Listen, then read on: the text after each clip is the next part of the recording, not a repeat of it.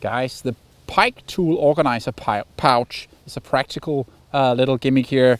Uh, as you all know, we all tend to lose our tools and our pliers during the fishing trip. So we created this one that basically holds everything that you need for your pike fishing here. I have a, a split ring plier, I have a wire crimping plier, I have a long nose plier, I have my cutting plier, and I have my pistol uh, grip hook out here and a little extra spare up here uh, for uh, measuring tape or in this case I have my hook sharpener and there's one extra tool here for a large hook sharpener. So all in all super practical here. Uh, heavy duty um, reinforced uh, material here of the of the pouch itself.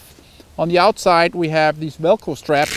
So you can basically uh, lock it to um, the frame of your boat. You can actually open that and then just put these over the oar so it's sitting on the side of the boat open so you can easily access uh, your tools.